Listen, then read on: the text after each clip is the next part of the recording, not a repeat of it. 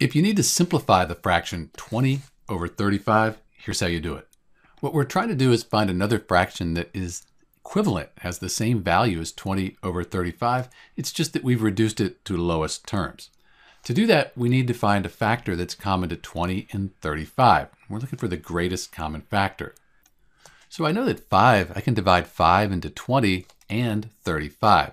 So let's try that. 20 divided by 5, that gives us 4. 35 divided by 5, that gives us 7. So we end up with simplifying the fraction 20 35ths down to 4 sevenths. And we can't reduce this any further. So this is the simplified fraction.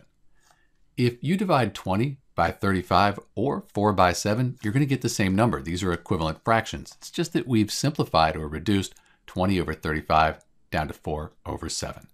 This is Dr. B. Thanks for watching.